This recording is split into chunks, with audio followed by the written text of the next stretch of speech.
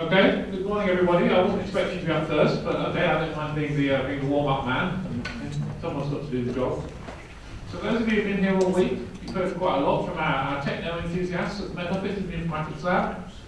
Probably you've realised that at some point you used to be exposed to a, a real member of staff with sort of slightly more traditional Met Office view of things. Well, your moment has arrived. My name is Philip, and I'm a climate scientist here at Met Office. Consequently, I'm going to spend the next 20 minutes or so talking to you about the weather. but don't worry, I'm not going to bore you with today's weather or tomorrow's forecast or anything like that. I'm a historical climatologist. I only do old weather, right? So we're going to be talking mostly about the weather of 100 years ago. And actually, I aim by the end of this to explain to you why that's important and why that's interesting. Right? So this talk follows on very nicely from Ed's excellent talk yesterday. We'll be following on some of the same themes, and indeed some of the same visual styles. And I plan to show you also a few cool visualizations along the way, uh, just to show you how the web and graphical tools feed into sort of what you might call ordinary scientific practice. But principally today is about telling stories. Right? So I thought I'd follow on the climate theme by trying to tell some stories and trying to explain how those stories feed into climate research and the work that we do here. So here's a story. Right? Now those of you who are into design may look at this and think, no, not much good that, a bit under-designed. This was indeed made by a bunch of scientists. But I still think the story it tells is relatively clear. And unless you've been living under a rock for the last decade or so, you'll have seen this before and you know all about it. Because this is a picture of global warming. There's a lot of evidence out there for global warming. This is the best. Right? This is the information that we make here at the Met Office, and essentially we're saying how has the global temperature varied over the last 150 years? Find out, we need thermometer measurements. And we're essentially collecting lots of thermometer measurements, making an estimate of the average global temperature. Now, I look at this and I think this is quite clear, this is persuasive, it's, you know, it's interesting, it gives you some reasonable idea of what's likely to happen in the future.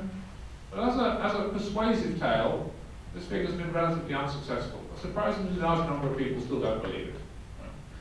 And consequently, I'd like to, to, to dig into the details of that.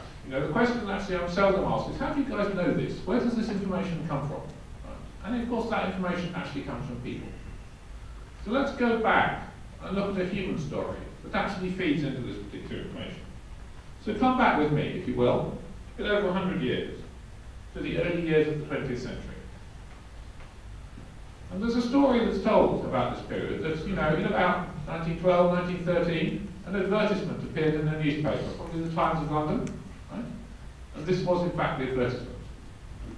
Further don't distract already in this talk. This was a subsequent expedition to the, to the one we see the, the, the data from before.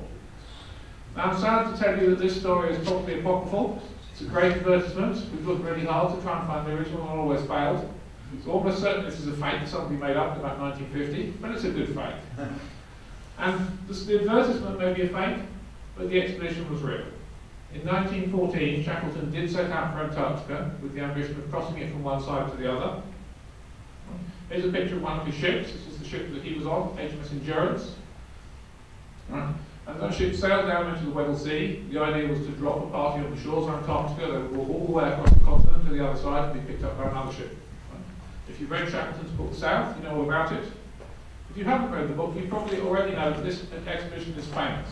It's famous as a story of heroism, and it's famous as a story of heroism because it was a total disaster from start to finish. So in fact, the was nicked in the sea ice, was crushed, and never got to Antarctica. And you might look at this picture, if you, if you went back uh, 101 years to November 1915, and you stood in the Weddell Sea, you would see exactly this sign. You might look at this picture and say, okay, this expedition's a write-off, it's a disaster. As a climate scientist, I don't look at it like that. Because this, you know, this may be a story of heroism, but this isn't actually just a dismal wreck. This is actually a picture of the Weddell Sea Meteorological Observing Station. Because we sent this ship to Antarctica with a full set of meteorological instruments, carefully produced and calibrated at the Met Office, instructions on how to use them.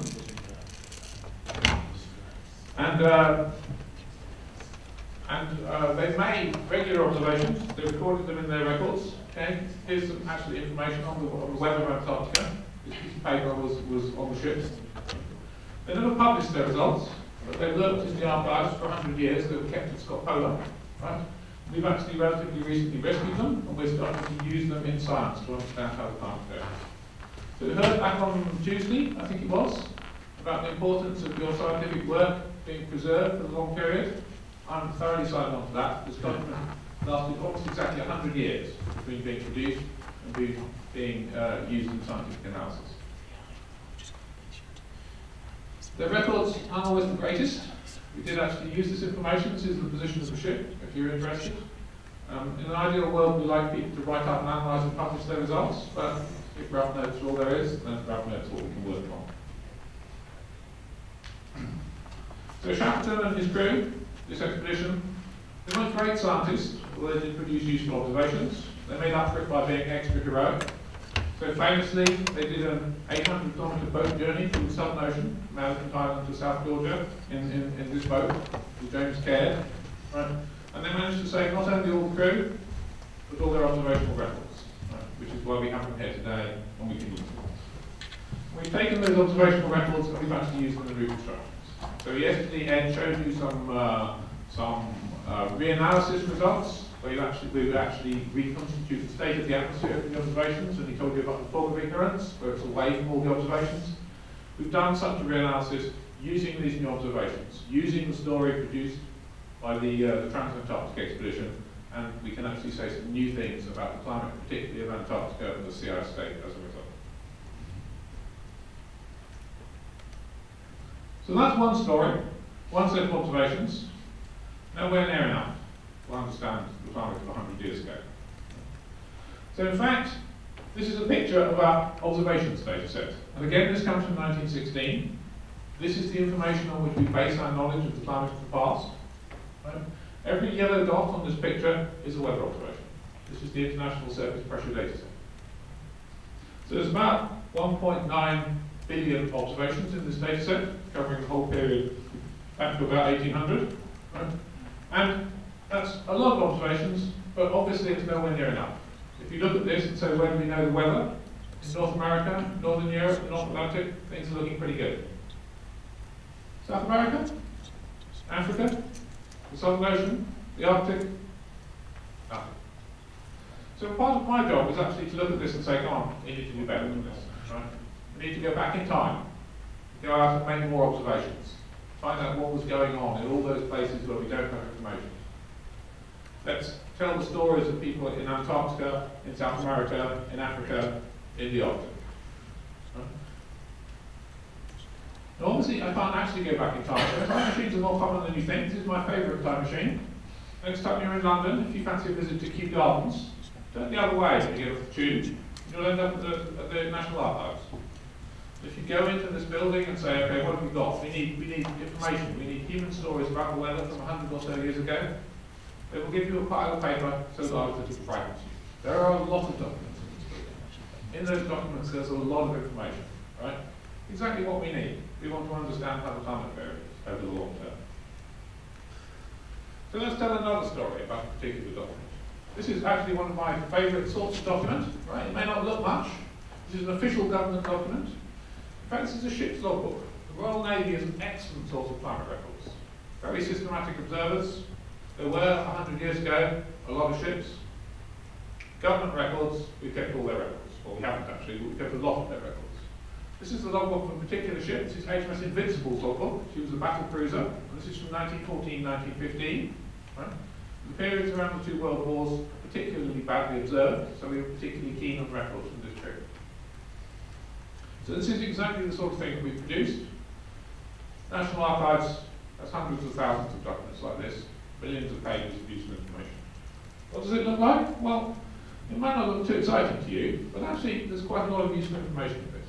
A ship's logbook, this is a double page spread. Each page contains the information for one day. At the top we have the location and the date. And then every hour, as you go down the page, starts at midnight, ends at midnight, right? they make a little record of what they're doing. And critically, that record often includes really useful scientific information. So in September 1914, when this page came out, HMS Invincible was in Scapa Flow in the Orkneys. At 4 o'clock in the morning on the 27th of September 1914, I can tell you about the weather, The wind was from the south-southwest. Beaufort force one, a gentle breeze, if you know your Beaufort scale. Right? I've got barometric pressure, 30.99 inches of mercury. Right? And I've got three temperatures, the barometer temperature, the air temperature, and the wet bulb temperature. And from that, we can get the atmospheric pressure, the temperature, and the humidity. A perfect record.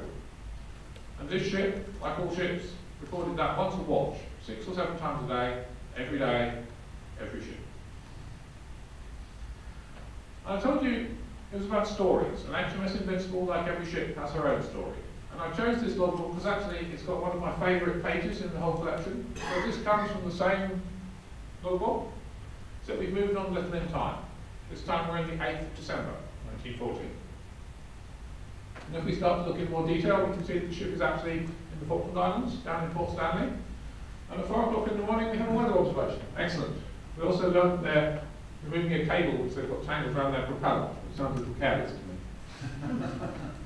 At 8 a.m., four hours later, next watch, I'd expect another weather observation. But we don't get one. Instead, there's a little marginal note, which you can read very carefully, just starting here. Strange vessels sighted on horizon to south. And sometimes there isn't room in the logbook for all the stuff you want to read. And these vessels turned out to include the Scharnhorst, the flagship of Admiral Count von Spee, which was in fact leading the German squadron Invincible had been sent to the South Atlantic to try and find. This is a real-time, first-hand account of the Battle of Falkland. This ship was on the winning side in that battle, otherwise we wouldn't have it. And you can see it actually uh, head on, uh, and the, the, the, details of the account given. Right?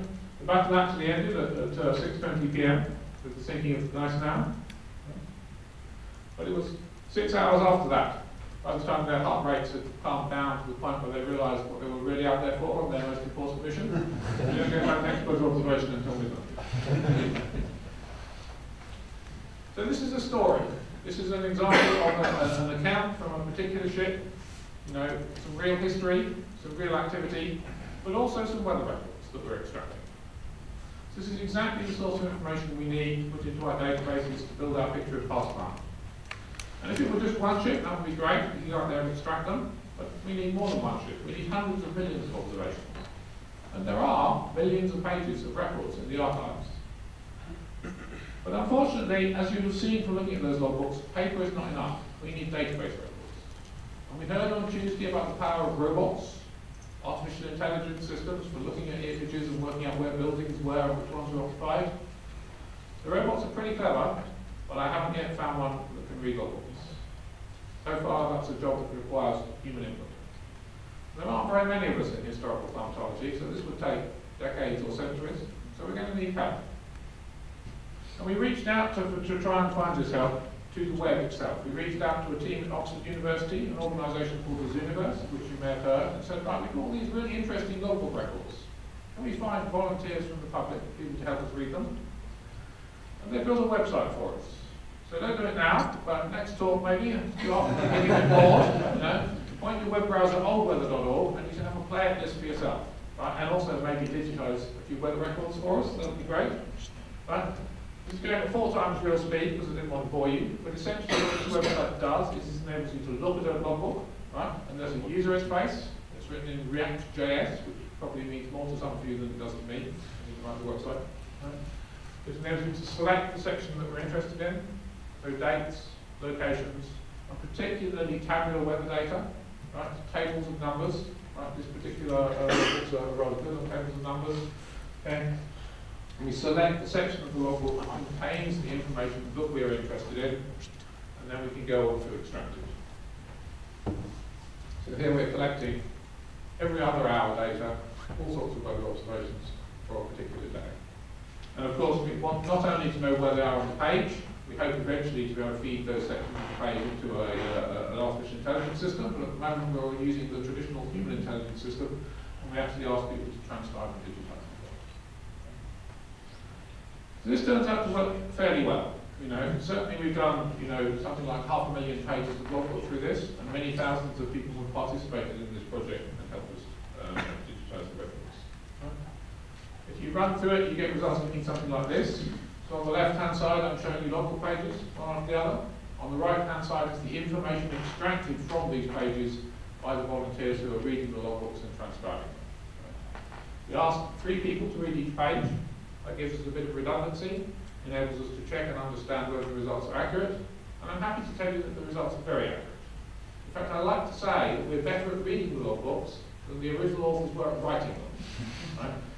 Of the errors in the final results, more due to wrong numbers being written in the logbook in the first place than the numbers in the logbook being mistranscribed by the volunteer.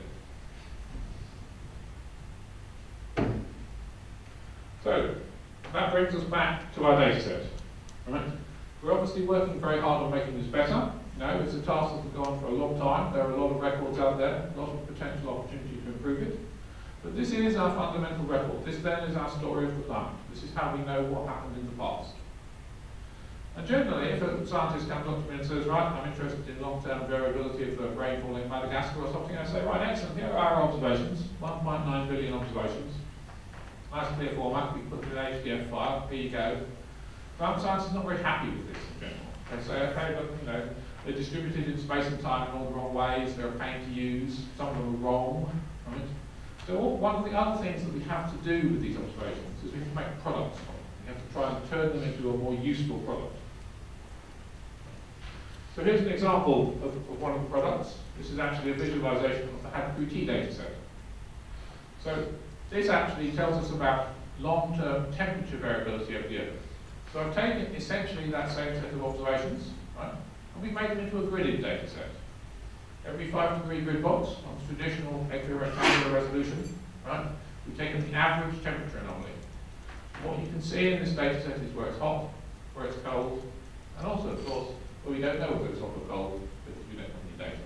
Right? This is a monthly data set, goes back to 1850. This is in fact the basis of our long-term understanding of temperature change and temperature variability. This is definitely improvement. When I give this to climate scientists, they tend to say, okay, this is something we can use, this is useful. But they also still complain. They sit there and say, but, but I'm interested, it hasn't got any observations. There are still holes in your data set. They also complain about large variability. In some places it's made from not very many observations, it has uncertainties in. So we also have to interpolate it, make um, complete data sets. This is fundamentally the same thing. This is a reconstruction of where it's hot, where it's cold, on a monthly time scale, made basically from observations. Here we've added extra information. We've actually said, okay, a lot of people want complete background fields. You know, nicely smooth so they're easy to interpret, easier to use. Right?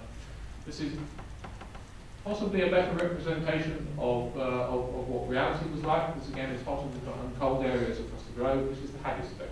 Once again, it's made from the observations. It comes from the original human stories, but actually uh, a great deal more smoothing and interpolation and statistical analysis has, has, been, has been put into this. None of that And of course, also, we want to be able to reconstruct things other than temperature. So increasingly we're starting to say, okay, what can technology offer us to add to these individual observations? So back in the past, we have observations of surface weather typically, temperature, pressure, you know, from ships, from weather stations, but actually we want to know is what's going on in the whole atmosphere and the whole ocean. And we have very powerful techniques and technologies for doing that for us in our weather forecasting tools. So every, every morning when we make the weather forecast, we take observations from all sources, we feed them into a very sophisticated mathematical model of the atmosphere, we solve that mathematical model of the atmosphere in a way that's constrained by the observations we have. That's the basis for tomorrow's weather forecast. And we can do that in 1916. It's not as good, because we don't have any anything like as many weather observations, but we can do the same thing. So this fundamentally is a reconstruction of the state of the whole atmosphere, and it's probably better on the little screen, as every presenter has said so far. Um, but what you can see here, if you look really carefully, are temperature anomalies, hot and cold areas. The contours show surface pressure. The dark uh, green colour is, uh, is, is, precipitation, and you can also see uh, the, uh, uh, the wind fields. So this is a comprehensive state vector of the atmosphere built up from our, our historical observations.